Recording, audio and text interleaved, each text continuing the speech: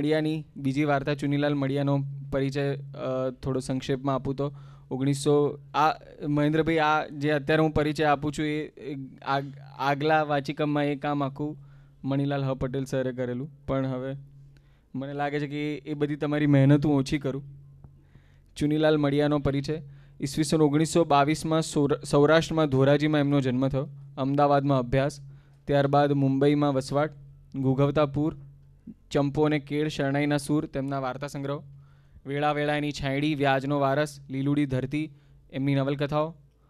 એ સિવાય લાંબા નાટક, નિબંધ, કવિતા, વિવેચન બધી વિધાઓમાં એમણે અસંખ્ય પુસ્તકો આપ્યા છે. આઈ થિંક અમિતાભ, અમિતાભભાઈ આવવાના હતા, અમિતાભ મળ્યા એમના સુપુત્ર, પરંતુ આવી શક્યા નથી. અને આ જે જે ચુનીલાલ મડિયાની વાર્તા છે ચુનીલાલ મડિયા ગાંધીયુગના અને ગાંધીયુગને અન્ય અને ગાંધીયુગ અને આધુનિક યુગને જોડતી કડીના એક પ્રમુખ વાર્તાકાર ગણાય છે. બાબા મ્યુઝિકનું કંઈ? હા એ થઈ ગયું થઈ ગયું. એટલે એ જે કડીરૂપ વાર્તાકાર ગણાય છે એમાંના ચુનીલાલ મડિયા પ્રમુખ વાર્તાકાર છે. અ, એમની વાર્તાકલા વાર્તા કલા વિશે વિશેષ વાત મહેન્દ્રભાઈ કરશે. હું એમની વાર્તા વાંચવાના છે જે આપણા નાટ્ય કલાકાર નિસર્ગ ત્રિવેદીનો થોડો પરિચય આપું. નિસર્ગ ત્રિવેદી પણ જેમ દેવકી છે એમ એમને કોઈ પરિચયની જરૂર નથી, પણ હું આવું કંઈ કહીને વારંવાર આપું છું.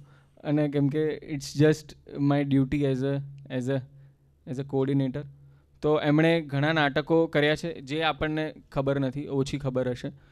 એમના નાટકોના નામ જસમા ઓડણનો વેશ પાંખ વિનાના પતંગિયા, તોખાર, અશ્વત્થામાં, પોસ્ટર જેવા નાટકોમાં એમણે કામ કર્યું છે. કેવી રીતે જઈશ કમિટમેન્ટ લવની ભવાઈ સાહેબ જેવી હાલની ઘણી બધી ફિલ્મોમાં એમણે કામ કર્યું છે. ભૂલા, ભલા ભૂસાના ભેદભરમ, શક, સુહાસિની જેવી અનેક ટીવી સિરિયલોમાં પણ એમણે કામ કર્યું છે. જૂની રંગભૂમિના નાટકો અને ગીતોનું એમનું જ્ઞાન ઊંડું છે. અને ભવાઈના પણ એ અલોંગ વિથ અર્ચન ત્રિવેદી, ઘણા સારા જાણકાર છે. મારા માટે નિશુ બાબા છે. અને મારા માટે હર્ષની બાબત એ છે કે જ્યારે મેં એમને આ પ્રવૃત્તિની જાણ કરી, ત્યારે મેં એમને પૂછ્યું કે મેં કહું, આ રીતનું છે ને તમે આવશો? તો તારે એમણે મને એવું કહ્યું કે તારે આવી કોઈ પ્રવૃત્તિ હોય ને, ત્યારે ત્યારે એમાં મને આદેશ કરવાનો હોય કે તારે, તમારે આવવાનું છે એમ, એ રીતે. તો he has been very supportive અને very kind to me over to નિસર્ગભાઈ માંડવો વધાવાઈ ગયો. ગોત્રીજ પાસે પગે લાગણું પતી ગયું. ઘરને ટોડલે વરઘોડિયાઓએ કંકુના થાપા પાડી દીધા. જાનને શીખ દેવાઈ ગઈ.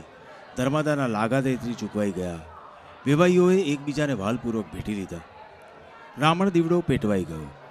વરકન્યા માફાળા ગાડામાં ગોઠવાઈ ગયા. સામેથી આવતી પાણીયારીના શુભ સુગંધ સાંભળી ગયા. અને ગાડાનું પૈડું સિંચાઈ ગયું. અને ડોસા રમઝુ મીરે શરણાઈનો સૂર છેડ્યો. ઢોલીએ ઢોલ ઉપર દાંડી પાડી, સુહાગણોએ ગીત ઉપાડ્યું અને ગૌરીની જાન ઉગલી ગઈ.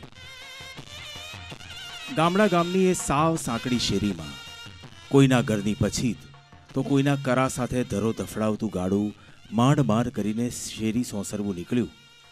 ત્યાં તો મીરની શરણાઈ સાંભળીને આજુબાજુના બહેરાઓ વરરાજાને જોવા એકઠા થઈ ગયા હતા. લાજના લાંબા ગુમટામાંથી જોઈ શકાય એટલું ઝીણી નજરે જોઈને તેઓ કહેતા હતા, આ બુધર મેરાઈનો જમાઈ. ગૌરીનો વર હાથમાં તરવાર લઈને કેવો બેઠો છે? નાકા ઉપર નિયમ મુજબ મેઘો ઢોલી દાદ લેવા આડો ફરીને ઊભો રહ્યો. રમજુએ પણ શ્વાસ ઘૂંટીને શરણાઈ દબાવી. કન્યા પક્ષની સ્ત્રીઓએ ગીત ઉપાડ્યું. આદશ આદશ પીપળો આદશ દાદાના ખેતર. વરપ્રક્ષની જાનરાણીઓએ સામું ગીત માંડ્યું કે ખોલો ગૌરીબાઈ ઘૂંઘટા, જુઓ સાસરિયાના રૂપ. એક રાણો ને બીજો રાજીઓ, ત્રીજો દલ્લીનો દીવાન. ગીતોના સૂર વધારે વેધક હતા કે શરણાઈના એ નક્કી કરવું શ્રોતાઓ માટે મુશ્કેલ બની રહ્યું. મીરે શરણાઈની એવી તો રમઝટ જમાવી હતી કે વડના બાપ પણ એના રસાસ્વાદમાં દાદ આપવાનું વિસરી ગયા. પરિણામે ગીતો અને ઢોલ શરણાઈનો સારી વાર સુધી તાસીરો જ બોલી રહ્યો. આખરે જ્યારે વડના બાપનો હાથ કોથળીમાં ગયો ને રમજુના હાથમાં પાવલી પડી, ત્યારે જેણે પીઠ ફેરવીને જાન આગળ વધી. રમજુની શરણાઈએ આખી બજારને જગાડી દીધી હતી. કામડા વેપારીઓ હજાર કામ પડતા મેલીને ઉઘલતી જાનને અવલોકવા દુકાનોને ઉમરે આવીને ઊભા. આખું સરઘસ અત્યારે જાજવલ્યમાન રંગો વડે સુહાતું હતું. મોખરે રમજુના માથા પર લાલ મધરાસી ફેંટાના લીરા ઉડતા હતા. મેઘાઢોલીએ લીલા રંગનું માથા બાંધરું બાંધેલું. જાનૈયાઓને વેવાઈવાળાઓ તરફથી કંકુના થાપા મારવાના આવેલા, તેથી આખો સમૂહ લાલ ભડક લાગતો હતો. હીર ભરતના ઝૂલ ને શિંગડીઓ વડે શણગારેલા બળદ તો સાવ જુદા તરી આવતા હતા. ગાળામાં બેઠેલા વરરાજાનો જરિયન જામો, એમના હાથમાંની તરવારનું રંગીન મિયાન, તેમજ કન્યાનું પચરંગી પટોળું એક વિશિષ્ટ રંગ સૃષ્ટિ રચી જતા હતા. એમની પાછળ વિદાય ગીતો ગાતી સુહાગણોના અવનવા પટકુળોનો તો રંગમેળો જોવા મળતો હતો. આડે દિવસે ઉડ લાગતી બજારમાં રમજુ મીરની શરણાઈએ નવી દુનિયા રચી કાઢી હતી. એના સૂરની મોહિની એવી હતી કે સાંભળનારને મત બનાવી મૂકે. એની અસર કાન વાટે સીધી હૃદય પર ચોટ મારે ને હૃદયના એ પરિતોષનો નશો સીધો મગજમાં પહોંચે. પ્રાકૃતજનોને આ શરણાઈની સુરાવલી સમજાય કે ન સમજાય? પણ મંત્રમુગ્ધ બનીને એ ડોલી ઉઠે તો ખરા જ. ભર બજારે, ચોગાનમાં ઊભીને રમજુએ અડાણો ઉપાડ્યો હતો. એ ઉન્માદ ભરી તરજનું બંધારણ ભાગ્યે જ કોઈ લોકો સમજતા. છતાં એમાં રહેલો આનંદ અને ઉછરંગ, તોફાન અને મસ્તી સૌ શ્રોતાઓ માણી રહ્યા. એમની આંખ સામે તો વાતે વાતમાં છણકા કરતી, આંખમાંથી અગનતણખા વેરતી ખોટે ખોટા રૂસણા લેતી, વળી પાછી પતિના પ્રેમોપચારે રીઝી જતી, અજબ, નટખટ ને નખરાળી નવોડા રમી રહી. અભણ રમજુ ડોસા પાસે શબ્દો ન હતા. કેવળ સૂર હતા અને સૂર વડે જ આવી સૃષ્ટિ ખડી કરી જતો હતો. નમતે બપોરે ઊભી બજારે સાવ શુષ્ક વાતાવરણમાં પણ સાસરીએ સોઢતી પતિ મિલનોત્સુક પરિણીતાનું કલ્માચિત્ર શ્રોતાઓની આંખ સામે તરવરી રહ્યું. એ આ મેલા ઘેલા માણસે સાધ્ય કરેલી શક્તિની જ બરિયારી હતી.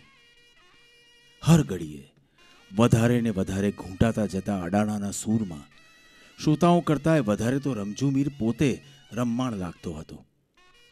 આંખ મીચીને ગલોફા ફૂલાવી ફૂલાવીને એ શરણાઈમાં શ્વાસ રેડતો જતો હતો અને એ નિર્જીવ વાદ્યને જીવંત બનાવતો જતો હતો. ગામ આખું લાંબા અનુભવને પરિણામે જાણતું થઈ ગયેલું કે રમજુ એકવાર એની શરણાઈમાં ફૂંક મારે, પછી એને સ્થળ કે સમયનું ભાન ન રહે. માત્ર પરગામથી ગગો પરણાવવા આવેલા તળસી વેવાઈને આ વાતની જાણ નહોતી. તેથી તેઓ મીરને દાદના પૈસાનો લાલચું ગણીને પાવલું ફેંકી રહ્યા પછી આગળ વધવાની ઉતાવળ કરી રહ્યા હતા. તળસી વેવાઈને સૂરજ આથમતા પહેલાં પોતાના ગામે સણોસરે પહોંચી જવાની ઉતાવળ હતી. તેથી એ શરણાઈવાળાને આદેશ આપી રહ્યા હતા. હાલો મીર હાલો. જટ વહેતા થાવ. પણ અડાણાના સૂરમાં ગળા બૂડ સેલારા લેતા રમજુને આવા આદેશ સાંભળવાની નવરાશ જ ક્યાં હતી? મીર એની શરણાઈમાં સમય બગાડતો જતો હતો અને તળસી વેવાઈને મનમાં ચટપટી ચાલતી હતી. કે આ ગતિએ રૂપિયે ગજને હિસાબે આગળ હાલશું તો સણેસરે પૂગતા સાંજ પડી જશે. ને અંધારે સામૈયા કરવામાં હોરાજીની કિર્સન લાઇટ મંગાવવી પડશે. મોંઘીદાટ બત્તીના બિલ ભરવાને બદલે વેવાઈએ આ મુફલીસ મીરને જ પાવલું વધારે દાદ આપીને આગળ વધવા પ્રેર્યો. પણ શરણાઈના સૂરમાં ડાબેથી જમણે ડોલી રહેલા રમજુને દાંત પેટે ફેંકાતા પૈસા ગણવાની જ ક્યાં નવરાશ હતી? મેઘા ઢોલીએ ધૂળમાંથી સિક્કા વેળી લીધા અને રમજુને કહ્યું હાલો મીર હવે હાઉ કરો હાઉ. પણ આવી સૂચના એ કાને ધરે એમ જ ક્યાં હતો? આખરે ભૂદર મેરાઈ પોતે આગળ આવ્યા ને રમજુને રીતસરનો હડસેલો મારીને સંભળાવ્યું. હવે હાલની જટ હાલની, આમ ડગલે ને પગલે દાદ રે- દાદ લેવા ઊભો તો રહીશ, તો કેદી પાદર પોગાડીશ?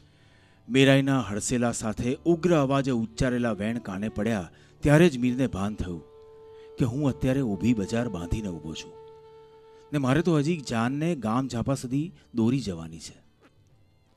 રમજુ યંત્રવત આગળ તો વધ્યો.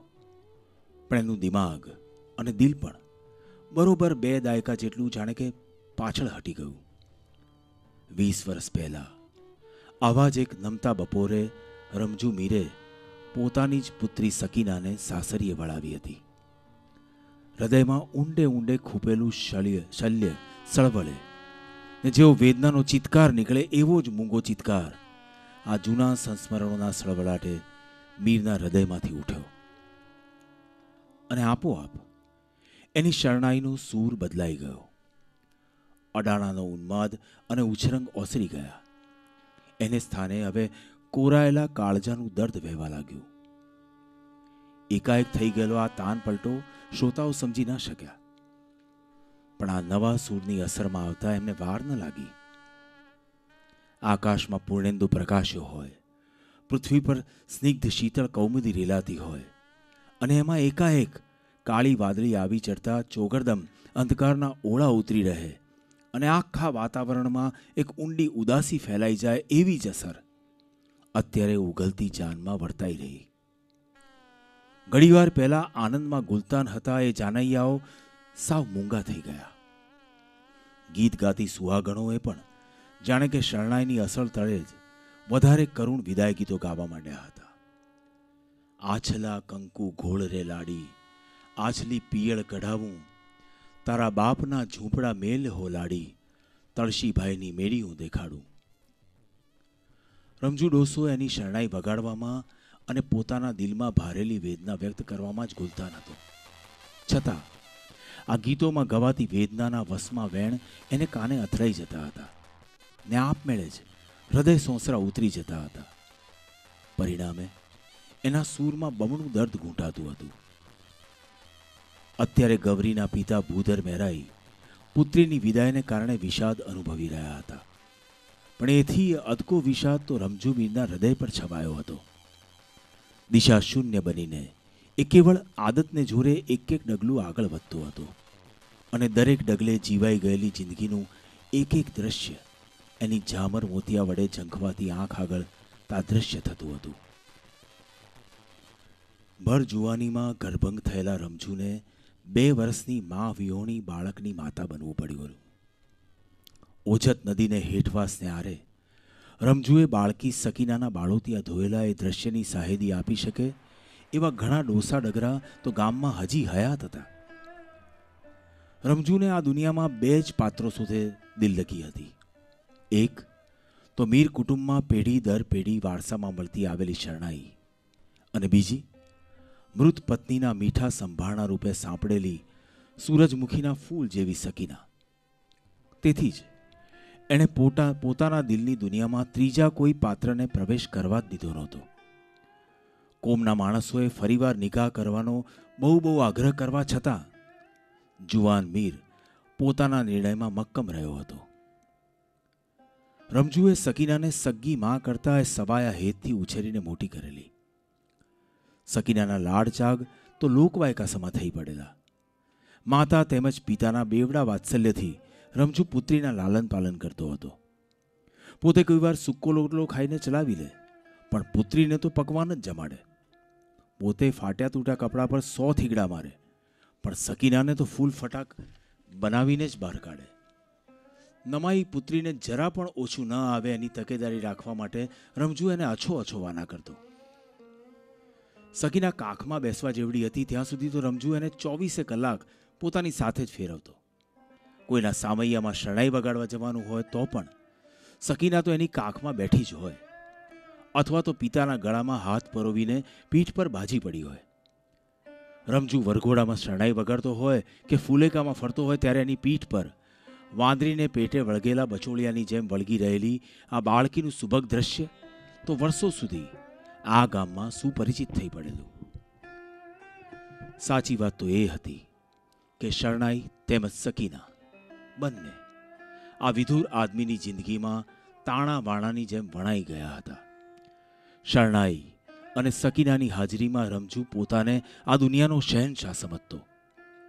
ઘણીએ વાર નમતી સંધ્યાએ પોતાના કુબાના આંગણામાં બેઠો બેઠો રમજુ કેવળ મોજ ખાતર શરણાઈમાંથી સૂર છેડતો અને સકીનાને રીઝવતો.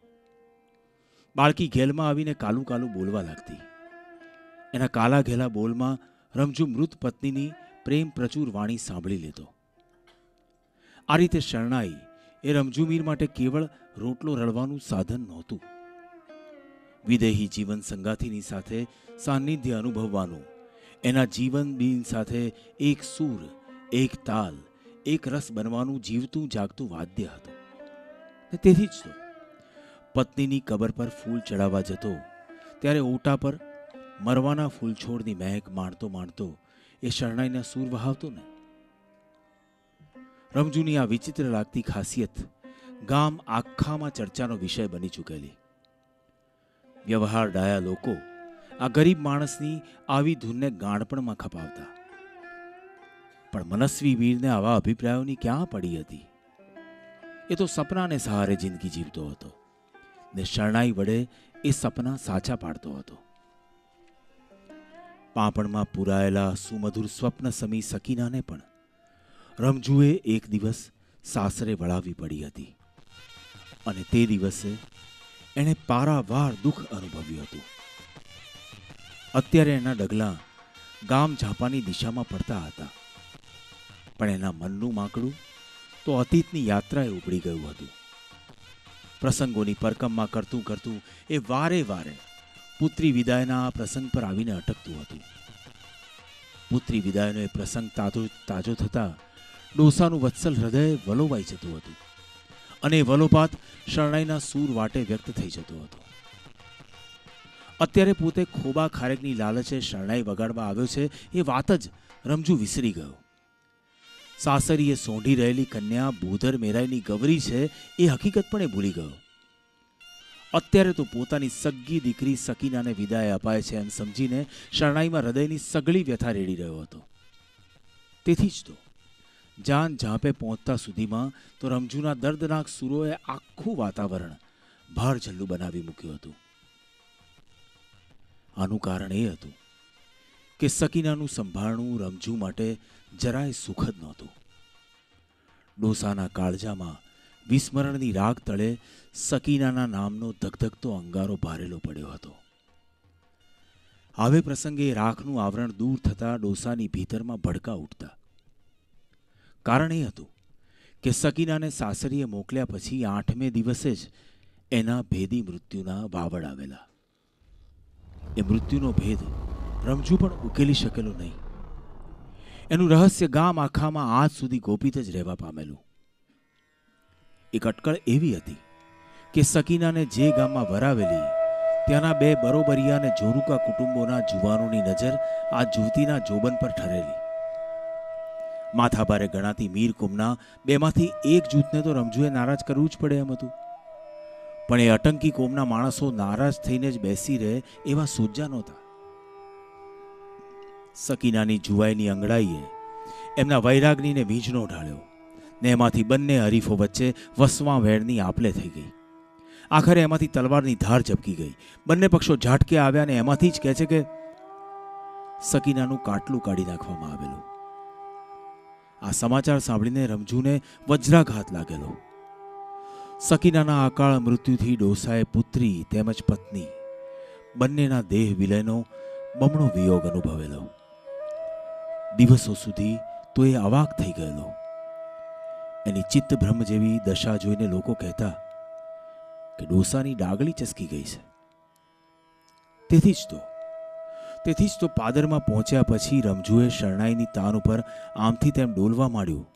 ત્યારે લોકો એને ગાડામાં ગણી કાઢ્યો ને.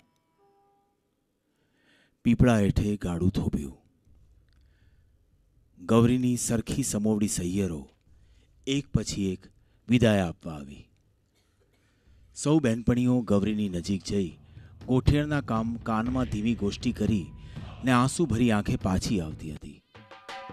ઘરચોળાના ઘૂંઘટની આડશે રડી રડીને ગૌરીની આંખો લાલ હિંગળા જેવી થઈ ગઈ હતી. એ તો અત્યારે જ ખબર પડી. હિભક્તિ પુત્રીને જોઈને માતાનું હૃદય હાથ ન રહ્યું. સાથે આણેલી ટબુડીમાંથી ગૌરીને બે ઘૂંટડા પાણી પાઈને તેઓ કોચવા તે હૃદય દૂર ચાલ્યા ગયા. પણ એમની પાંપણ પર આવીને અટકેલા આંસુ રમજુની નજર બહાર નહોતા રહ્યા. લાગણીના આવેશમાં માતા જે ભાવ વાચા દ્વારા વ્યક્ત કરી શકતી નહોતી, એની અભિવ્યક્તિ, રમજુ પોતાના સૂર વાટે કરી રહ્યો. આમ તો આ પાદરનો પીપળો અને ચબૂતરો ગામની સેંકડો કન્યાઓની વિદાયનો સાક્ષી બની ચૂક્યો હતો. રમજુ પોતે પણ આવા અસંખ્ય વિદાય પ્રસંગોએ શરણાઈ વગાડીને સાટામાં રૂપિયો રોડો મહેનતાણું મેળવી ચૂક્યો હતો. ખોબો ભરીને ખારેક લાડવા વગેરે લઈ ચૂક્યો હતો. પણ આજની વાત અનોખી હતી. આજનું વળામણું વિશિષ્ટ હતું. આજનો વિદાય પ્રસંગ સાવ વિલક્ષણ હતો. આજે દર્દનાક શરણાઈ વગાડનાર માણસ અવસ્થાને આરે પહોંચેલો, ખખડી ગયેલો રમઝૂમી ન હતો. પણ વીસ વર્ષ પહેલા સકીનાને વિદાય આપનાર પુત્રી પિતા હતો. તેથી જ તો તળશી વેવાઈએ પાવલાથી માંડીને બાધા રૂપિયા જેવડી મોટી રકમની ત્રણ ત્રણ વાર દાદ આપવા છતાં રમજુ શરણાઈ બંધ કરીને પાદરમાંથી પાછો ફર્યો નહીં ને. કન્યા પક્ષ તરફથી કારુણ્યની પરાકાષ્ઠા સમૂહ વિદાય ગીત ઉપડ્યું હતું. કે દાદાને આંગણ આંબલો આંબલો ઘેર ગંભીર જો એક રે પાંદડું અમે તોડ્યું. દાદા ગાળ ના દેજો જો માત્ર ગૌરી નહીં, ગૌરીની ગોઠિયણો જ નહીં, કન્યાના આપ્તજનો જ નહીં, પણ સીમાડાનું સમગ્ર વાતાવરણ જાણે કે ડૂસકા ભરતું લાગ્યું. અને મીરની શરણાઈએ આ શોકમગ્ન વાતાવરણ સાથે અજબ સંવેદ સાધ્યો. એના સૂરમાં ઘૂંટાતું દર્દ વાતાવરણની ગમગીનીને દ્વિગુણિત બનાવી ગયું. રમજુ ચગ્યો હતો. એની શરણાઈ ચગી હતી. પોતાના ચિરાયેલ દિલની વેદનાને ચગાવવામાં પણ ડોસો ચેન અનુભવતો હતો. પણ કન્યાને લઈને ઝટપટ ઘેર ભેગા થઈ જવાની ઉતાવળમાં વરરાજા તેમજ વરના બાપ તળશી વેવાઈ તલપાપડ થઈ રહ્યા હતા. પાદરના મોકળા પટમાં મોકળે મને સુરાવટ ઠેરાવી રહેલા મીરને જોઈને વેવાઈની અકળામણ વધતી જતી હતી. આખરે એમણે ભૂધર મીરાઈ સમક્ષ એ અકળામણ વ્યક્ત કરી પણ ખરી. આ તમારો મીર તો ભારે લાલચું લાગે છે. આટલી દાદ દીધી તોય હજી ધર્મ નથી થતો. અમારે તો અહીં સીમાડે સૂરજ આદમી જશે એમ લાગે છે. વેવાઈની ફરિયાદ સાંભળીને ભૂધર મેરાઈ જાનનો માર્ગ રોકીને ઉભેલા મીર પાસે જઈ પહોંચ્યા અને મોટે સાથે સંભળાવ્યું. એલા ડોસલા, આવો ભૂખાવળો ક્યાંથી થયો? આટલી બધી દાદ દીધી તોય હજી તને ધરપત ન આટલા પાવલા પડ્યા તોય હજી હાઉ નથી કહેતો. પણ રમજુ તો પોતાની શરણાઈના સૂર સિવાય બીજું કાંઈ સાંભળે એમ જ ક્યાં હતું? કંટાળીને ભૂધર મેરાઈએ વેવાઈને કહ્યું હા ડોસાની ડાગળી જરાક ચસકી ગયેલ છે. દુખ્યો જીવ છે ને? ને એમાં પાછી પાકી અવસ્થા થઈ. એટલે હવે કળ વિકળનું ભાન નથી રહ્યું તે એને ભલે કળ- વિકળનું ભાન ન હોય પણ અમારે અસુરું થઈ જશે એનું હું?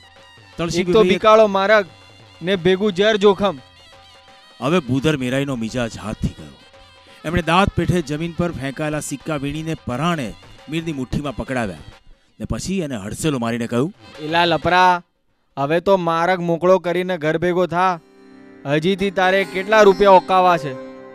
કે પછી મીઠા ઝાડના મૂળ ખાવા છે માળા માગણ? બુધર મેરાઈના હડસેલાથી મીર હાલ્યો તો ખરો પણ પોતાના ઘરને ગામને માર્ગે નહીં સીમને માર્ગે સણોસરાને કેળે આ તો હજી સગડ નથી મેલતો તળશી વેવે કંટાળીને બોલ્યા. આ તો અમારી મોર બેતો થયો. માર થાતો? સીમને માર્ગે સામે ચાલતા રમજુને જોઈને બુધર મેરાઈએ કહ્યું. થાકશે એટલે એની મેળે પાછો આવતો રહેશે. અને પછી વેવાઈને છેલ્લી સૂચના તરીકે ઉમેરી હવે ખબરદાર એને રાતું કાવડિયું પણ આપ્યું છે તો. તમે પહેલેથી જ છૂટે હાથે દાંત દેવા માંડી એમાં ડોસો સોનાના ઝાડ ભાળી ગયો. પણ હવે ભૂંગળું ફૂંકી ફૂંકીને મરી જાય તો એ હામું જોશોમાં અને પછી બંને વેવૈયો ભાવે કરીને ભેટ્યા. અને જાન, સણોસરાને કેડે ચડી. રમજુ પણ, હજી ધૂનમાં ને ધૂનમાં જાનની મોખરે ચાલ્યા જ કરતો હતો. પાછળ, પાદરમાં ઉભેલા લોકો આ ગાંડા માણસની હાંસી ઉડાવતા હતા. પુત્રી વળાવીને કુટુંબીઓ ભારે હૃદયે ઘર તરફ પાછા ફરતા હતા, ત્યારે સ્ત્રીઓએ છેલ્લું ગીત ઉપાડ્યું હતું. એક આવ્યો તો પરદેશી પોપટો. બેની રમતા તા માંડવા હેઠ ધૂતારો ધૂતી ગયો. ધૂનમાં અને ધૂનમાં મોટા મોટા ડગ ભરતા રમજુને કાને આ ગીતના વેણ આછા પાતળા અથડાતા હતા. પણ એને ખ્યાલ નહોતો કે પોતે કઈ દિશામાં આગળ વધી રહ્યો છે. પુત્રી વિયોગના દુઃખ દર્દમાં જાણે કે દિશા શૂન્ય થઈ ગયો હતો. હવે તો જાને આવ્યો પણ મીરની મશ્કરી શરૂ કરી હતી. સાવ મગજમેટ થઈ ગયો લાગે છે. માંગણ કીધા એટલે હું આંગળી દેતા પહોંચાને જ વળગે. ગમે એવી તોય વહવાયાની જાતને, જીવને સંતોષ જ નહીં. મર વગાડ્યા કરે એનું ભૂંગળું. હાલી હાલીને પગે પાણી ઉતરશે એટલે આફુડો પાછો વળશે. હા, અને શેઠ ઠેઠ સણોસરા સુધી બગાડતો હોય તોય શું વાંધો છે? સામૈયામાં પણ આની શરણાઈ કામ આવશે. ગામના બીને રૂપિયો ખટાવવા માટે પણ રમજુ સણોસરા સુધી ન ગયો. વચ્ચે કબ્રસ્તાન આવ્યું કે તુરત એના પગ થંભી ગયા. ધણમાંથી પાછું ફરેલું ઢોર ગમાણનો ખીલો સૂંઘીને ઊભું રહી જાય એમ કબ્રસ્તાનમાંથી આવતી મરવા છોડની પરિચિત સોડમ નાકમાં જતા જ મીર ખચકાઈને ઊભો રહી ગયો. પાછળ વરકન્યાને લઈને ગાડું આવતું હતું. ને એની પાછળ જુવાન જાનૈયાઓની ઠીઠિયાઠોરી સંભળાતી હતી. રમજુની આંખ સામે સાસરે સોંટતી ગવરી નહીં પણ સખીના પસાર થઈ રહી. તુરત એનો હાથ ગજવા તરફ વળ્યો. પાદરમાં ભૂદર મેરૈયે ધૂળમાંથી ઉસરડો કરીને પરાણે ગજવામાં નખાવેલા પૈસા હાથ આવ્યા. જોયું તો સાચે જ દોથો ભરાય એટલા સિક્કા દાદમાં મળી ચૂક્યા જણાવે રાખ રમજુ તો રાજી રાજી થઈ ગયો. હરક ભર્યો એ ગાળા નજીક ગયો ને બોલ્યો, લે ગગી આ કાપડાના કરીને આપું છું. અને હજી તો આ રકમનો સ્વીકાર કે અસ્વીકાર થાય, એ પહેલા તો? ઉતરતી સંધ્યાના ઉજાસમાં રમજુ કબ્રસ્તાનમાં દાખલ થઈ ગયો. એની એક આંખ સામે ગવરીનું કાપડું ને બીજી આંખ સામે સકીનાનું કફન તરવરી રહ્યું. આ ચસ્કેલ માણસના આવા વિચિત્ર વર્તાવ બદલ જાનૈયાઓ ફરીવાર ચેષ્ટા કરતા આગળ વધ્યા. દિવસને આથમતે અજવાળે રમજુએ મૃત પત્નીની કબર પાસે બેસીને સરસ સુરાવટ છેડી એમાં મિલન અને વિયોગના મિશ્ર ભાવોની ગંગા જમના ગૂંથાઈ ગઈ. પવનની પાંખે ચડીને સૂર મોડે મોડે સુધી ગામમાં તેમજ સીમમાં સંભળાતા રહ્યા. અને અનેક મિલનોત્સુક તેમજ વિયોગી આત્માઓ આ સુરાવટમાંથી એક સરખી શાતા અનુભવતા રહ્યા. પણ કમનસીબે રમઝુની શરણાઈની આ છેલ્લી સુરાવટ હતી. એ પછી એ શરણાઈ કે એ સૂર ગામ લોકોને કદી સાંભળવા મળ્યા નહીં.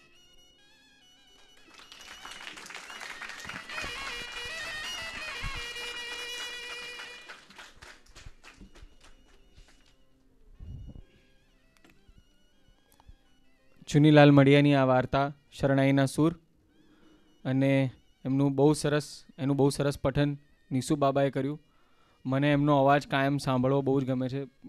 મને એવું લાગે છે કે ગુજરાતી એટલીસ્ટ ગુજરાતી નાટ્ય જગત કે ફિલ્મ જગતમાં જેટલા પણ અભિનેતાઓ છે, એમાં સારામાં સારો અવાજ ધરાવતા બે ત્રણ કલાકારોમાં તો ડેફિનેટલી નિસર્ગભાઈનું નામ આવે. એટલે એમનો કંઠ એવો છે કે સાંભળ્યા કરવો ગમે, એના ફ્લોમાં રહેવું ગમે. આ ફ્લોની વાત નીકળી છે તો ચુનીલાલ મડિયાની વાર્તામાં કે એમના ગદ્યમાં પણ એવો જ ફ્લો જોવા મળે છે. અને એ ફ્લો વિશે મહેન્દ્રભાઈ નિસર્ગ, મહેન્દ્રભાઈ નગીનદાસ પારેખે એક રિમાર્ક કરેલી છે. શ્રી મડિયાઓની શ્રી મડિયાની વાર્તાઓ વાંચતા સૌથી પહેલું આપણું ધ્યાન એની ભાષા ખેંચે છે. વર્ણન ચારિત્ર્ય લેખન કે ભાવાલેખન કશા માટે એમને ભાષાની અગવડ પડતી લાગતી નથી. એટલું જ નહીં, એમની ભાષામાં એક પ્રકારનું તળપદું જોમ છે. જે વાચકના ચિત્ત પર ચિત્રો છાપી દે છે. અને ઉપરાંત એક પ્રકારનો ભાષાનો સ્વતંત્ર આનંદ આપે છે. આનું કારણ એવો જે પ્રદેશમાંથી આવે છે, તેની લોકભાષા પરનો એમનો કાબુ છે. એ ભાષામાં એ જાતની ચિત્રાત્મકતા છે અને માદકતા છે, જે ધારી અસર નિપજાવે છે અને પોતાના ઓઘમાં વાચકને તાણી જાય છે. છેલ્લું વાક્ય નગીનદાસભાઈ ઉમેરે છે. અહીં અમિતાભ મળ્યા નથી એટલે બોલી શકાય કે ઘણીવાર લેખકને પણ એ ભાષાનો કેફ ચડતો લાગે છે. એટલે સ્લાઇટ એમણે એવી રીતે, અને પણ એ વખતે એવી ખેલદીલી હતી કે ચુનીલાલ મડિયાની શ્રેષ્ઠ વાર્તાઓનું સંપાદનમાં જ નગીનદાસ પારેખે આ વાત મૂકેલી છે. એટલે એક બાલઝાકનો બહુ પ્રભાવ એમના ઉપર જોવામાં આવે છે. બાલ્ઝાક નામના એક ફ્રેન્ચ નવલકથાકાર, ગદ્યકાર હતા. જે પણ આવી વર્ણન શક્તિ જેમની બહુ વખણાતી હતી અને આવું ત્રાદૃશ્યકરણ જે વિઝ્યુઅલાઇઝેશન છે, જે ચુનીલાલ મડિયાની ભાષામાં જે બળકટતા છે, એ થોડો એમનો ઇન્ફ્લુઅન્સ છે અને થોડું ઘણું ખરું. એમાં પોતાનું, પોતાના ગ્રામ જીવનનું અને પોતે બાળપણમાં જે સમાજ જીવન જોયું એનું નિરીક્ષણ છે. ઉમાશંકર જોશીએ પણ ક્યાંક નોંધ્યું છે કે મને એમ હતું કે મળિયા બહુ બહુ તો શું કરે? વણિક જ્ઞાતિઓની બોલીઓ પ્રયોજી જાણે. પણ એમનામાં તો એ જે જે કોમની કે જે વર- વર્ણની એ વાત કરે, એની બોલીની છટાઓ પણ એ બહુ સારી રીતે કેપ્ચર કરે. એ, એવું ઉમાશંકર જોશીએ પણ નોંધ્યું છે. અને એ રીતે આમાં પણ, અને જે જે શરણાઈના સૂર કે એક મ્યુઝિશિયનની જે વાત છે ભાષા અને વર્ણન શક્તિ તો બરાબર છે. પણ એક જે મ્યુઝિશિયન જે પોતાનું જીવન એક એક જીવાતું જીવન જુદું છે અને મ્યુઝિશિયન જે પોતાના સુરોથી એક જીવન જીવે છે, એ એ જીવન જુદું છે. અને એ બંને વચ્ચેનો જીવન વચ્ચે, બંને જીવન વચ્ચે ખાસ મેળ નથી. છતાં પણ એ બંને જીવનને સરસ રીતે કેપ્ચર કરી શક્યા છે ચુનીલાલ મળી આ વાર્તામાં. મને એવું લાગે છે કે જે આમાં એવા બે ચાર ઉલ્લેખો પણ આવે છે કે પત્ની, પત્નીના મિલન અને વિયોગના મિશ્ર ભાવોની સુરાવટે છેડી રહ્યો કે આખી રાત જે, એટલે એક જે સંગીત થકી જે જીવન જીવે છે. પત્ની સાથેના સહજીવનનો આનંદ પણ એ સંગીત થકી માણે છે. તો એ આખી જે કલ્પના છે અને એ આમ જોવા જાવ તો એક મ્યુઝિશિયનની લાઈફની સચ્ચાઈ પણ છે. એટલે એ એ એ બધી વાતો આમાં સરસ રીતે ગૂંથી લીધી છે. હવે આપણે મહેન્દ્રભાઈ તરફ જઈએ, જોઈએ. મહેન્દ્રભાઈ, મહેન્દ્રસિંહ પરમાર આપણી ભાષાના જાણીતા વાર્તાકાર, નિબંધકાર, વિવેચક છે. સાથે જે નાટ્યકાર અને નાટ્ય દિગ્દર્શક છે. એટલે જનરલી શું હોય છે કે આપણે ત્યાં આસ્વાદક તરીકે, એટલે આપણી જે પરિકલ્પના હતી અને પહેલીવાર જે બન્યું પહેલાં વાચિકમમાં, કે આસ્વાદક તરીકે આપણે કોઈ વિખ્યાત સાહિત્યકારને બોલાવીએ. પણ આ વખતે આપણને સાહિત્યકાર, સાહિત્યની સૂઝબૂઝ ધરાવતા માણસ સાથે આપણને એક નાટ્યકર્મી પણ મળ્યા છે વિચ ઇઝ અ બોનસ કારણ કે એ પરફોર્મન્સને પણ થોડી રીતે રિવ્યૂ કરી શકે. અથવા તો એના વિશે એની કંઈક, એના કંઈક એવા ન્યુએન્સ એની કંઈક એવી ખૂબી સમજાવી શકે, જે કદાચ આપણને બધાને સારી રીતે ના ખબર પડે. એટલે એ રીતે it is great to have him મહેન્દ્રભાઈ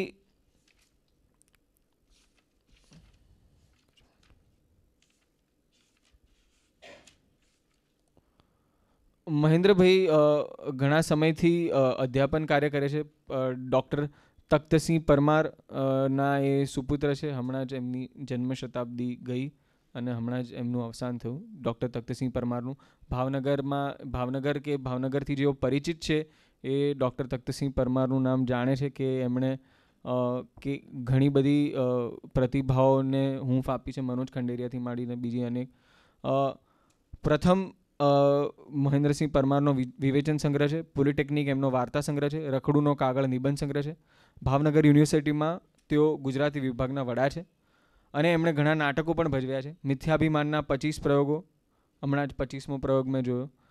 ઈસવીસન બે હજાર બાવીસ, પરેશ નાયકનું, સતીશ વ્યાસનું ધૂળનો સૂરજ નાનાભાઈ ભટ્ટના જીવન પર આધારિત અજવાસનું આચમન વગેરે જેવા નાટકો એમણે ભજવ્યા છે.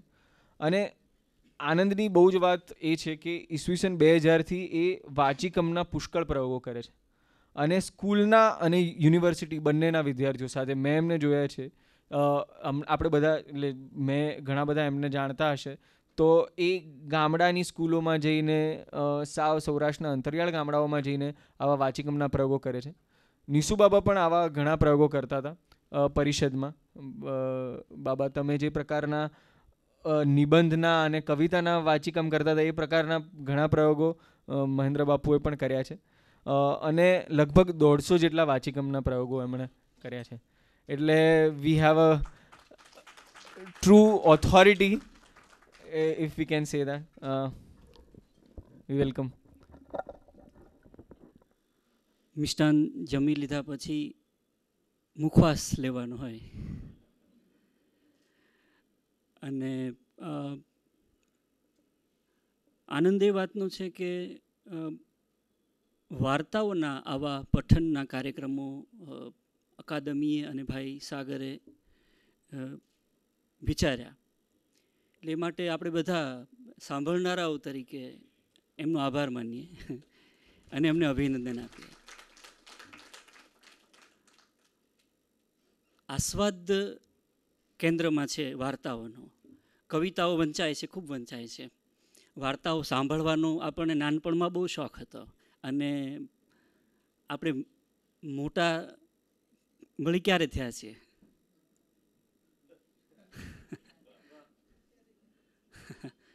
એટલે કથામાં આપણને બધાને બહુ સ્વાભાવિક છે કે આપણને રસ છે અને આપણી ભાષાની એવી વાર્તાઓ આપણા સુધી પહોંચી. બરાબર હું આજે જોતો હતો અથવા તો સાગરે એટલું બધું કીધું મારા વિશે કે મને સંકોચ થતો હતો. મને એમ થતું હતું કે હું તો આટલું બધું બોલવાનું જ નથી જેટલો મારો પરિચય આપ્યો. કારણ કહું. આજે- ખાસો સમય છે આપણી પાસે. કારણ એ હતું કે થોડી વાતો હતી જે આપણે બધા ભેગા થઈને કરીએ. એટલે હવે હવેના સમયમાં આપણા અત્યારના સમયમાં આપ- આપણું સાહિત્ય અને આપણી ભાષા અને આપણી કથાઓ એને વિશે નવેસરથી આપણે એમ, એને મળીએ પાછા. અને એ કથાઓ આપણને આપણી લાગે. એવું એક વાતાવરણ બનાવવાની આપણને જરૂર લાગે છે. કેમ કે આમ આમ જોઈએ તો માધ્યમો આપણી સાથે ચારે બાજુ ઘૂમરાઈ રહ્યા છે. અને એની વાર્તાઓ પણ આપણને મળવા માંડી છે. એવા સમયે આ આખી વાત છે એ મને બહુ રસપ્રદ લાગે છે. અને હું એવું માનું છું કે આપણું સાહિત્ય અને આપણી ભાષા આ પ્રકારના પ્રયોગોથી તરતી રહેવાની છે. અને એ ફરતી રહેવાની છે. અને નવા શ્રોતાઓ સુધી, નવા નવા પ્રેક્ષકો સુધી અને નવા વિદ્યાર્થીઓ સુધી, નવા ભાષકો સુધી પણ. મધુભાઈની જ વાર્તાઓ છે, પાછળની વાર્તાઓ છે મધુભાઈની.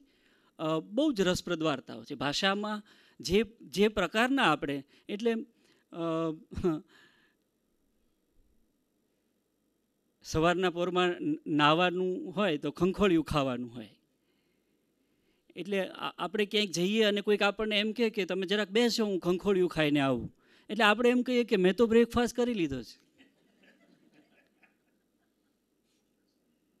એટલે ખંખોળિયું નામનો શબ્દ જે ઝડપથી આપણા શબ્દકોશમાંથી ભૂંસાતો ગયો છે. જે ઝડપથી સંપાઓ ભૂંસાવા માંડી. તમારી નજર સામેથી ઓચિંતાનો બાંકડો ભૂંસાઈ જાય, તમારી નજર સામેથી ઓચિંતાનો બગીચો ભૂંસાઈ જાય, તમારી નજર સામેથી ઓચિંતાની કોલેજ ભૂંસાઈ જાય, તમારી નજર સામે એટલે એટલે હવે આપણને અત્યારે એ પ્રશ્ન થાય કે આપણે અત્યારે અહીંયા છીએ. તો આપણે છીએ ખરા?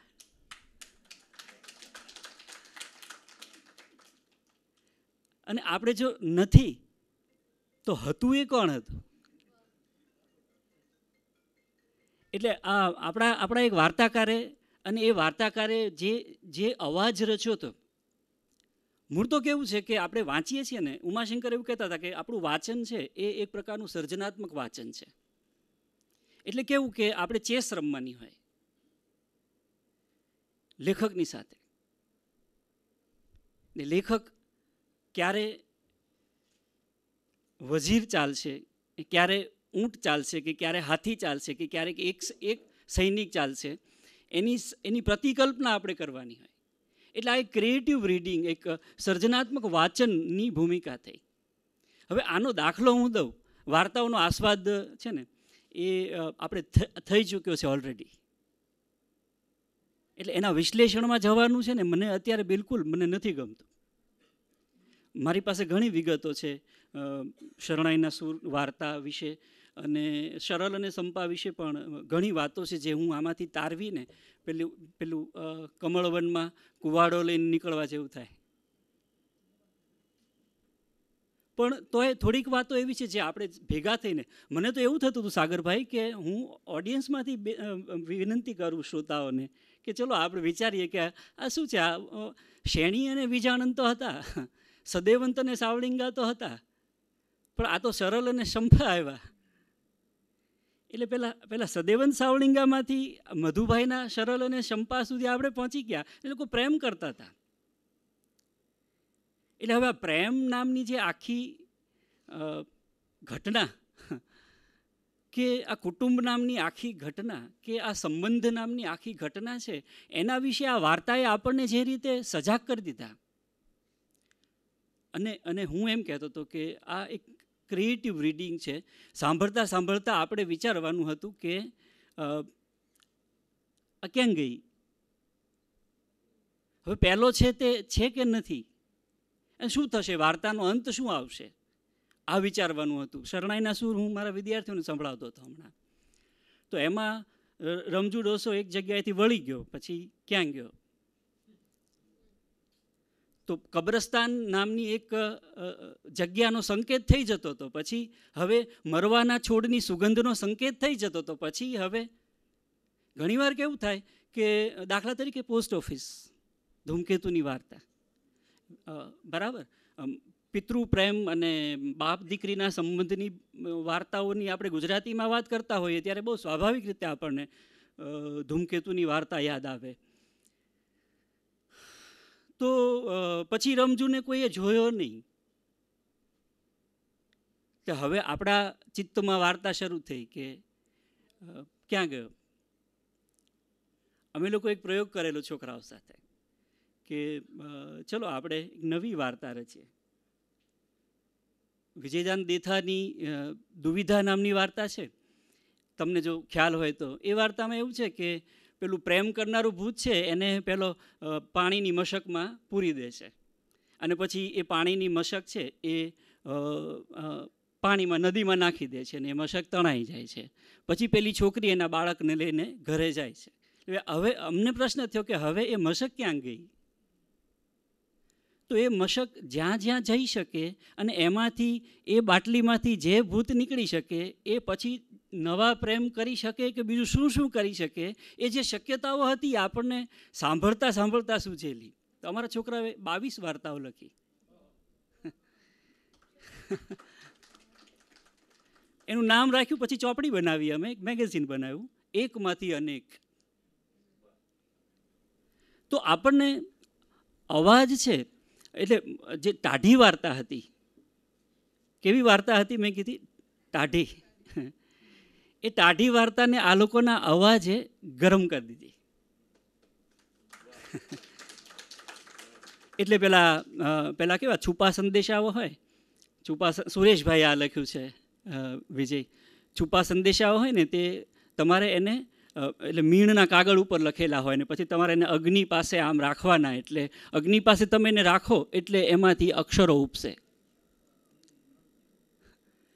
આ વાર્તાઓ વાંચવાનો આખો મામલો છે ને એ આવા છુપા સંદેશાઓને અવાજના અગ્નિની સામે રાખીને એના એને ઉકેલવાનો છે.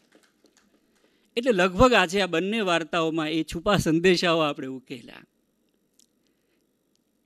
અને આપણા અર્થો અને આપણા અર્થઘટનો એની સાથે સાથે આપણે જોડતા જતા હતા. આપણને દરેકને, આપણે દરેકને આપણા રમજુ મીરની એક, આપણું એક ચિત્ર હતું. એટલે મને એવું લાગે છે કે વાર્તા વાંચવાનો આખો જે મામલો છે તે ખરેખર તો અવાજના એવા રૂપોને ઓળખી કાઢવાનો મામલો છે, જે રૂપો આપણને નેત્ર પ્રત્યક્ષ થાય, જે આપણને દેખાય. તો નિસર્ગભાઈ બોલતા હતા તો આપણને દેખાતું હતું. નિસર્ગભાઈ મનમાં વાંચતા હતા ત્યારે એ જોતા જોતા વાંચતા હતા. એટલે મને એવું લાગે છે કે વાર્તાની ભાષાની સાચી પ્રતીતિ તો જ્યાં સુધી એ અવાજના ચરખામાં ગૂંથાતી નથી, ત્યાં સુધી નથી થતી. એટલે ઘણીવાર હું હસતો હસતો કહેતો કે મને કોઈ પરમાર કહેવાને બદલે પાઠક કહે તો વાંધો નથી. પઠન છે. ભગત સાહેબ બહુ સારું કહેતા કે કોઈ પણ કૃતિ છે, એનું ચોક્કસ ઘાટમાં થયેલું પઠન છે, એ એનું પોણું અર્થઘટન છે. બાકીનું પચીસ ટકા પછી એમાં આપણે જરૂર પડે તો કોઈની મદદ લેવી જોઈએ. મધુભાઈને ફરિયાદ કરેલી કે તમારી વાર્તા સમજાતી નથી? દાખલા તરીકે સરળ અને શંપા દાખલા તરીકે એમની હાર્મોનિકા જૂથની બધી વાર્તાઓ, દાખલા તરીકે એમની હરિયો જૂથની બધી વાર્તાઓ છે. તમે વાંચો. હવે આમાંથી એક બીજો બીજો મુદ્દો પણ થાય. બીજો મામલો પણ બને. તે શું બને? કે આજે સરળ અને શંપા નામની મધુરાઈની એક વાર્તા આપણે વાંચી. તો સાંભળી રાધર. તો હવે આપણને મન થાય કે બીજી કેવી લખી છે મધુરાઈ વાર્તા? એવું જો આપણને થાય અને થવું જોઈએ. તો આ પ્રકારના કાર્યક્રમોની સાર્થકતા આપણે ગણવી જોઈએ. એટલે ઓલ ટુગેધર થવું શું જોઈએ? થવું એ જોઈએ કે આપણે બધા ભેગા થઈને ચર્ચા કરવા જોઈએ. કે ચલો, આપણને શું લાગે છે? આ વાતચીતનો માહોલ નથી આપણો. મોટાભાગે વ્યાખ્યાનોનો માહોલ છે. અને એમાં બોલનારના પક્ષે બોલનાર છે અને સાંભળનારના પક્ષે સાંભળનાર છે. પણ ચલો, ક્યારેક એવું પણ કરી શકીએ આપણે કે આ વાર્તા વિશે બે ત્રણ પ્રતિભાવો આપણને સાંભળનારાઓના પણ મળે. તો સર- સરળ અને શંપા વાર્તા એ રીતે આપણને ઉશ્કેરતી હતી. એ રીતે આપણને થોડા એટલે શું શું થતું હતું આપણું? બ્રેઇન સ્ટોર્મિંગ થતું હતું. એને માટે મેં ગુજરાતી શબ્દ બનાવ્યો છે. મગજની હખડ ડખડ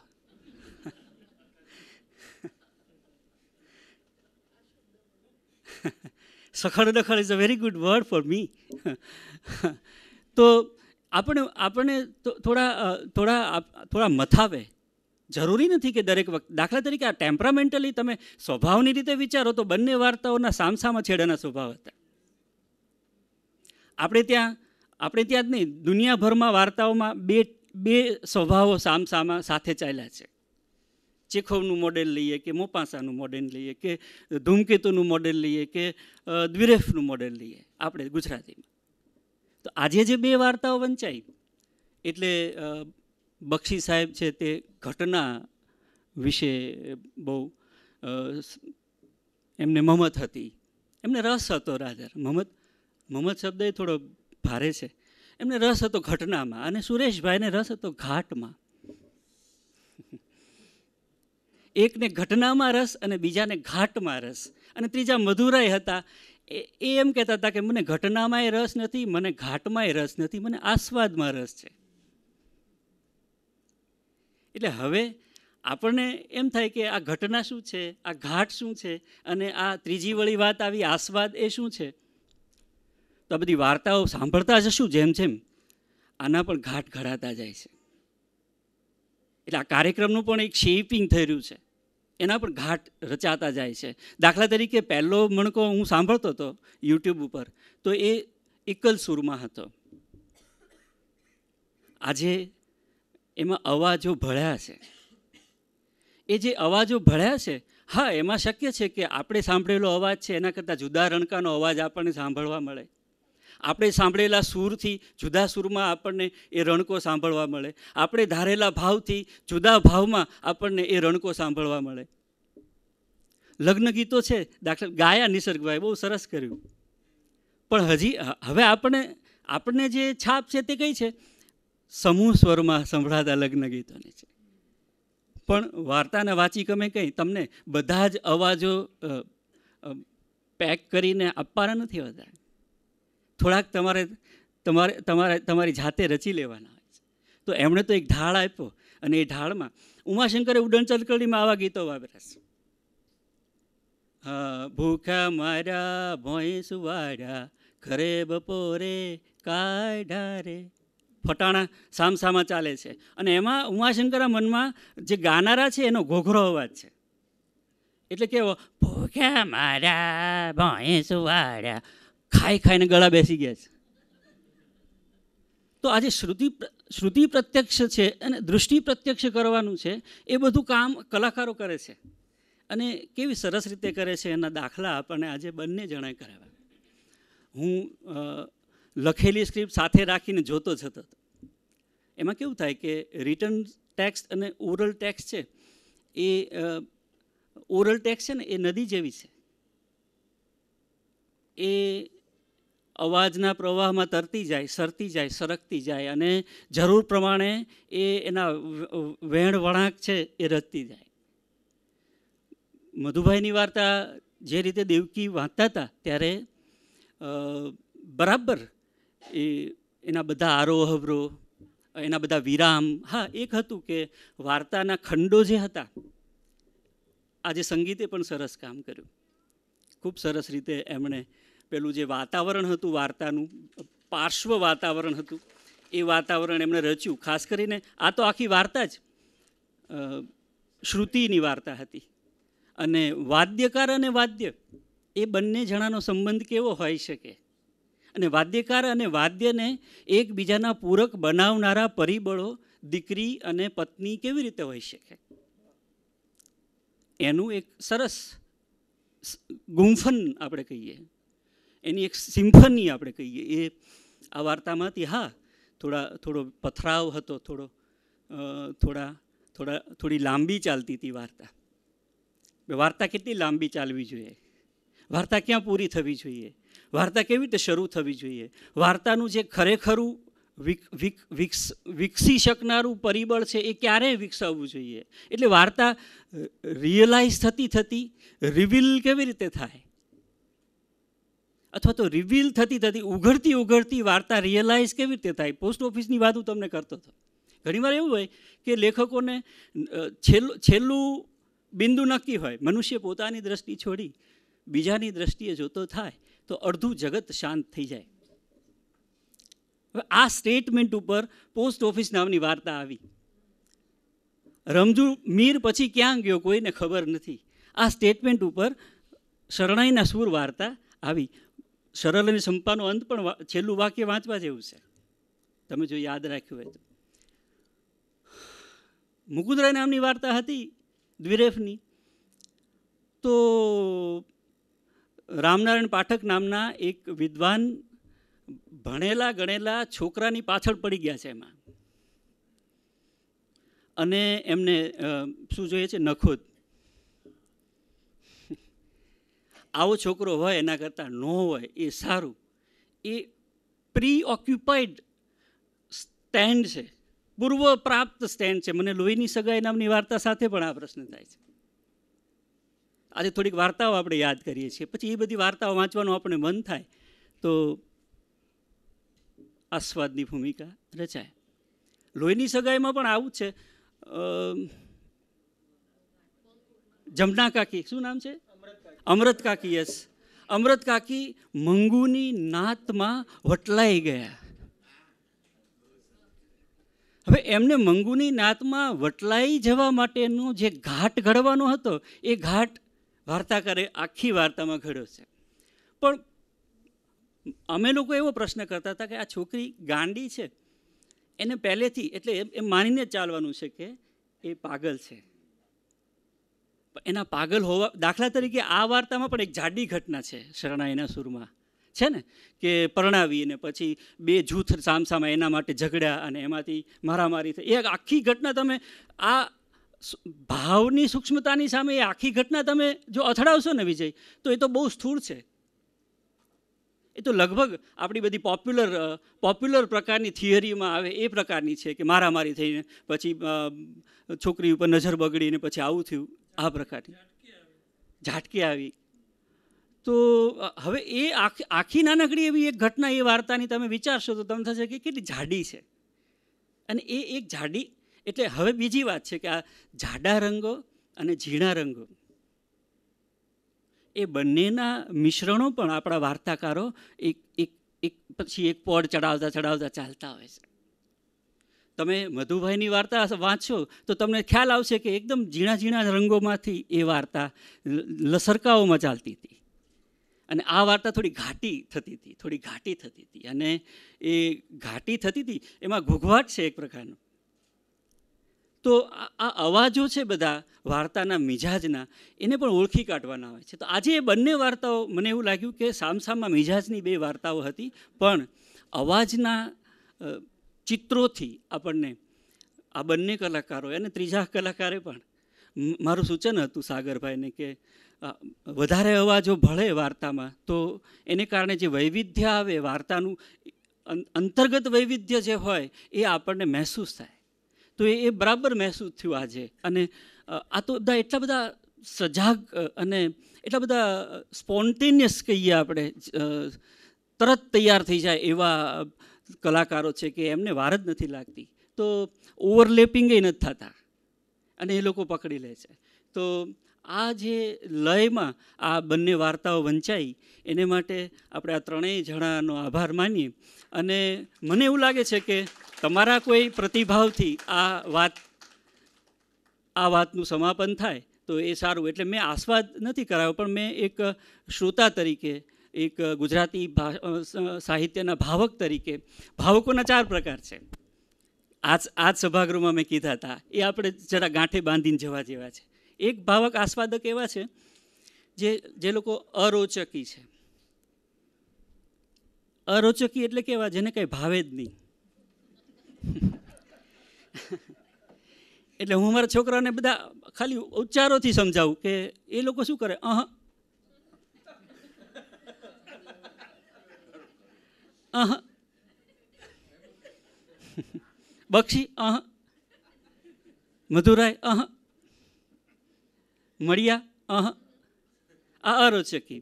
બીજા છે સતૃણ વ્યવહારી, જેને બધું ભાવે. એને માટે અમે શબ્દ બનાવ્યો હતો હ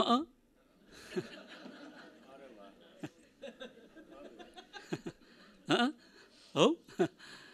આ બીજા. ત્રીજા છે મત્સરી હા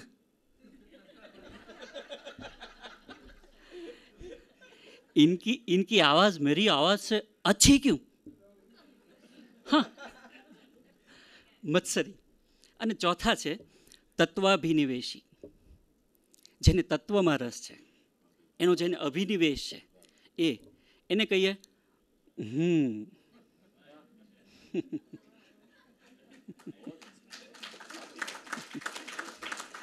એટલે અહ હા હા અને હું. ચારેય અવસ્થાઓ આપણને મળો.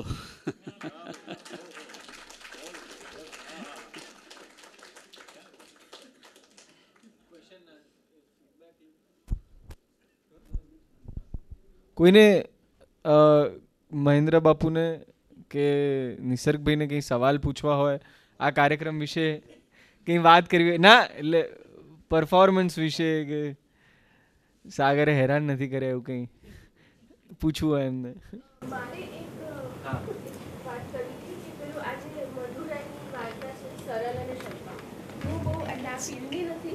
પણ એક ઇન્ટરપ્રિટેશન એવું બી હોય કે સરળ વોઝ લાઈક સ્ટાર્ટિંગમાં એવું લાગતું હતું કે સરળ વોઝ સ્કિઝોફ્રેનિક કે એને શંપા દેખાતી હતી પણ એકચ્યુઅલી શંપા ડીડ નોટ એક્ઝિસ્ટ પણ પછી એવું થયું કે સરળ ડીડ નોટ એક્ઝિસ્ટ એટલે આ તો ખાલી એક ઇન્ટરપ્રિટેશન હતું. I just want to share કે મેડિકલ ફિલ્ડના બેકગ્રાઉન્ડના જે લોકો હોય એ આવું ઇન્ટરપ્રિટેશન બી કાઢે કે મે બી સરળ વોઝ સ્કિઝોફ્રેનિક એટલે આમ તો આ એમની વાતમાં જ એક અભિપ્રાય છે. અને આને પ્રશ્ન ન ગણવો જોઈએ. સરળને સંપવાની વાત કરી તો એબ્સોલ્યુટીમાં બી રૂપક હોય છે ખરા કે? બિલકુલ હોય છે. એટલે આમાં કઈ રૂપક છે? પણ આપણે તો નાના હતા ત્યારથી આ ધંધો શરૂ કર્યો છે. દાદાનો ડંગોરો લીધો એનો તો મેં ઘોડો કીધો. So it start from the childhood અને કપોળ કલ્પનાઓ છે. આ કપોળ કલ્પનાઓ તો બધી બહુ ક્રિએટિવ છે. આપણી આપણી ભાષામાં તો પુષ્કળ વાર્તાઓ છે કપોળ કલ્પનાઓની. અને મધુભાઈમાં જ નહીં નહીં તો અડધી તો એમની કુલ વાર્તાઓમાંની અડધી અ, કપોળ કલ્પનાઓની છે. અને કપોલ કલ્પના એક પ્રયુક્તિ તરીકે હું વાર્તાઓ લખું છું તો મને સાહસ કરવાની કોઈ હિંમત નથી થતી. કે ફેન્ટસીમાં કામ કરવું આ કેવા હેરી પોટર ઉડી રહ્યા છે ભમભમાટ આ હેરી પોટર ઇટસેલ્ફ એ તો અલ્ટિમેટ છે આપણે ત્યાં અત્યારે દાખલો દેવો હોય તો. તો બહુ જ રસપ્રદ છે આ વસ્તુ. અને હું માનું છું કે આપણા બધાના ચિત્તમાં આવું એક ભયંકર ફૂંફાળા મારતું બાળક છે, જે કલ્પનાતીત રીતે કપોળ કલ્પનામાં જીવે છે.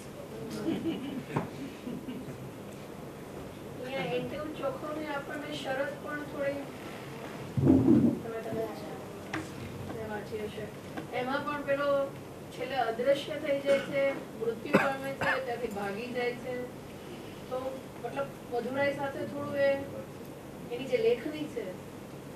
એટલે ચિત્રાંગદાને જુઓ તમને એમ થાય કે આ ખરેખર હશે કે આ માયા હશે?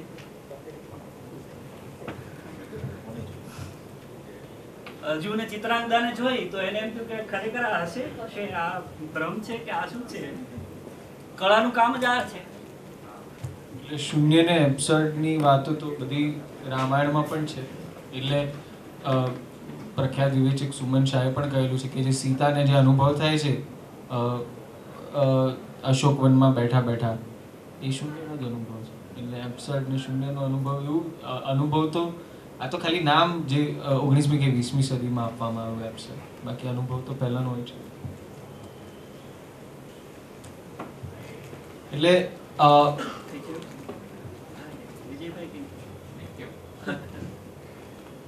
એટલે મહેન્દ્રસિંહ પરમારે જે રીતે વાત કરી, આપણને બધાને આનંદ આનંદ કરાવી ગયા અને મને લાગ્યું કે I am in a position of privilege કે અહીંયા મારા હું એક સરસ આખા કાર્યક્રમનું નિમિત્ત બન્યો. જ્યાં, જેમાં નિસર્ગભાઈ એક સરસ વાર્તાનું વાંચન કર્યું, દેવકી જેવા નાટ્ય કલાકાર મળ્યા અને અંતે આપણને મહેન્દ્રસિંહ જેવા આસ્વાદક મળ્યા. જેમણે આસ્વાદની આખી વાત બદલી નાખી. સુરેશભાઈ કહેતા કે સુરેશ જોશી, આપણા બધાના આદરણીય, એ કહેતા કે જે વર્ગમાં ભણાવતા અધ્યાપકો છે ને, એ કવિતાના સૌથી મોટા દુશ્મનો અને સુરેશભાઈની કહેવાની રીત એવી જાણીતી હતી, પણ આપણને આનંદ થાય કે મહેન્દ્રસિંહ તો કમસે કમ એવા નથી. અને કવિતાના નહીં, વાર્તાના નહીં, સાહિત્યની તમામ વિધાઓના પરમ ચાહક છે. અને જે રીતે પણ ખોલી શકે એ રીતે એનો મર્મ ખોલવા હંમેશા ઉત્સુક રહે છે. આપણે એમની બોડી લેંગ્વેજ જોઈએ તો પણ આપણને સમજાય કે એ માણસને સતત ઇન્ટરેક્શનમાં રસ છે. એક પ્રકારે બંને પક્ષથી જે કમ્યુનિકેશન થાય, એમાં રસ છે ને એમણે ઘણા બધા વિદ્યાર્થીઓને તૈયાર કર્યા છે અને આ તરફ વાળ્યા છે. એ જ આખી વાત સૂચવે છે કે હાઉ સિન્સિયર હી ઇઝ બીજું એમણે ઘણી બધી વાતો કરી, પણ એમાં મારે જે એક વાત ખાલી ઉમેરવી છે એ છે કે આજે થોડા યંગસ્ટર્સ પણ છે, એટલે કે નેટફ્લિક્સ ને એમેઝોન પ્રાઇમ ને એ બધાની અત્યારે દુનિયા ચાલી રહી છે. છેવટે આ, મેં જે શરૂઆતમાં કહ્યું કે ભલે માહોલ ગઝલનો હોય, પણ દુનિયાભરમાં વાર્તા અને નરેટિવનો માહોલ તો એવો ને એવો જ છે. હજી પણ આપણને વાર્તા કોઈ પણ પ્રકારે સાંભળવી તો ગમે જ છે. હવે એ વાર્તા થોડી ફિલ્મોમાં અને વેબ સિરીઝમાં કે બધામાં શિફ્ટ થઈ ગઈ છે. નાટકોમાં એ વાત અલગ છે, પણ વાર્તા તત્વ પ્રધાન રૂપે એમાં હોય છે ને વાર્તા વાત કહેવી કથવું એ તો ખરેખર માનવ સ્વભાવ છે ને એનું જ આ બધી વાર્તાઓ એક્સટેન્શન છે. એટલે હું કહેતો હોઉં છું બાપુ ઘણીવાર કે આપણી આપણી આ જે વાર્તાઓ છે, શરણાઈના સૂર કે સરળ અને શંપા, એ ઝીરો બજેટની ફિલ્મો છે, ખરેખર જોવા જઈએ અને પેલી બહુ જ હાઈ બજેટની વાર્તાઓ છે. તો આપણે અત્યારે સરસ ઝીરો બજેટની ફિલ્મો જોઈએ એ રીતે અવાજ થકી.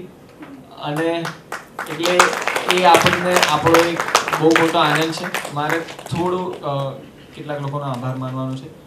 સૌથી પહેલાં હું વિષ્ણુ વિષ્ણુભાઈ અને અજયસિંહ ચૌહાણ વિષ્ણુ પંડ્યા અને અજયસિંહ ચૌહાણનો આભાર માનું છું. આત્મહલના સ્ટાફનો પણ આભાર. ગુજરાત સમાચાર અને દિવ્ય ભાસ્કર જેમણે આનું કવરેજ કર્યું છે એમનો આભાર માનું છું. અમારા મીડિયા પાર્ટનર માતૃભારતી અને અર્બન ખબરી કોલેજના પ્રોફેસર મિત્રો જેમણે પ્રચાર કર્યો અ, વિપુલ વ્યાસ, અભિમન્યુ આચાર્ય અને અન્ય શુભેચ્છકો જે સતત મારી સાથે રહ્યા છે આ વાર્તાઓની પસંદગી દરમિયાન.